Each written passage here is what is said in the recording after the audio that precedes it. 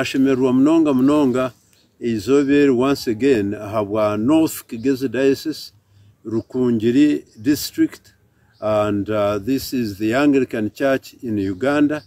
Ntwenda ngu tusime munonga munonga ruhanga kandi ninyana ngu mpiki kusima kwanjye kurukurugaha mutima hare aha bantu mwena mwena ba north kigezi ba rukungiri district. Ahabwokuba turiyo nitwirira haihi munonga okwakira bishop. Ninyana ngu mbasime okwehayo okwehayo okwehayo kukora mukakora mukagumya obusinge mukakora mutakureba ibi na biriya mutakuhurira aha naho konka muteire omutima aha kukora. Mbwenu ruhanga nikyabeteire obwo bunaku okukora kuhereza ruhanga ekitiinisa okukora mukuhereza omwanya gwaitu nka north kigezi rukungiri district kandi mukagihereza izina mbwenu nimbasimira okwehayo n'ebintu ebimuhaire okuhereza kwanyu omu makanisa okuhereza kwanyu omu krisimasi kandi n'okuhereza ahabw'omukoro ogu gw'ebiro ikumi na bibiri kandi ogwatandikire eri izooba ahabw'okuba eri izooba ninyenda ngu mbateereho kiri special munonga. Nitwakira family members ba bishop elect. Abaana nibaija ahead kandi bishop elect n'omukazi nibaza omu kweherera. Mbwenu ninyenda ngu mbasimire okuhaya ebyanyu n'okubakiira eri izooba ninyenda ngu mbasiime ahabw'okuba mukemerera nanye ahagati y'emiyaga mingi ei turabiremu konka mwayemerera muhamire timwaba divided timwahurana mwakora. Nambwenu mbasiime munonga omukukora kwanyu.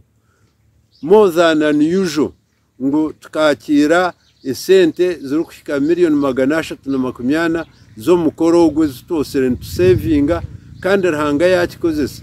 Aba kampala abantu banyu abatuha emikono bakashemererwa. Aho kwakubaye nibatubuuza budget twabagambira kashi kweruho magana ashatu na makumyana. Mbwenu bakaronda ezindi bayongera bayongera. Ningira ngu hati bahikize nka miliyoni magana mukaaga. Aha kwongera hari ezo konka ekyangu bakagira ngu kikaba kitakabahoga. Butosha tubahereza empty budget rero batahamu na se- na 75% mbwenu mukabahereza obutandikiro burungi mwebare mwebare north kigezi mukamasimu kandi hona ninyenda ngu mbete biri ikumi ntwija kwakira bishop elect kahenge.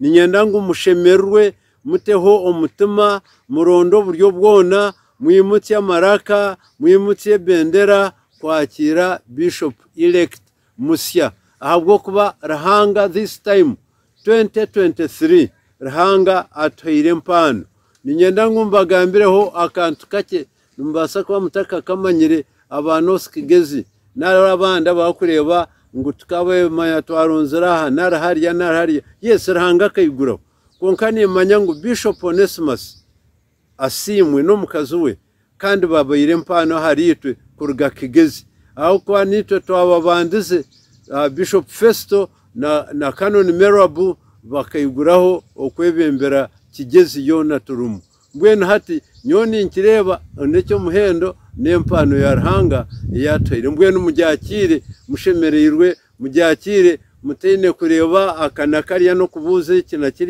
konka muri kusiima mukama ahabwokuba ruhanga atugarukiremu yagarukamu okushaba kwaitu kandi nitwija kukora n'okuteera sitepu mpango entambo mpango aha kuboneza ahabw'okutunguura ahabw'okwombeka ahabw'okukuza omurimo gwa, ruhanga omuri north kigezi ninyenda ngu mba mbahereze okuhiga okwo ninyenda ngu mbete mutakatsubamu kandi mbwene ekyamuheru ninyenda ngu mbasimire ruhanga ahabw'okuba twahika hati twagenda niturongoka ekishushani kyona aha rushozi nikiija kandi nimpamya ngu n'emitima yanyu erongoke n'ekishushani ekitwine kihango kirungi ahabw'orushozi rwaitu ahari emmanuel cathedral kandi itukuja kubasiza n'okuhimbisa mukama n'okwakirira bishopu ebiri ikumi na bibiri.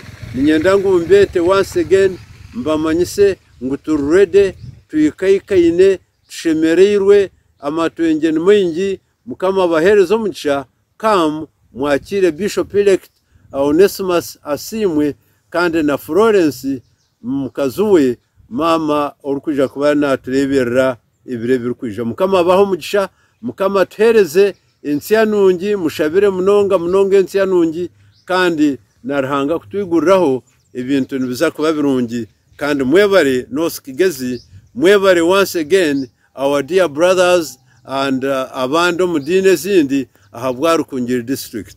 Mukama abaho umugisha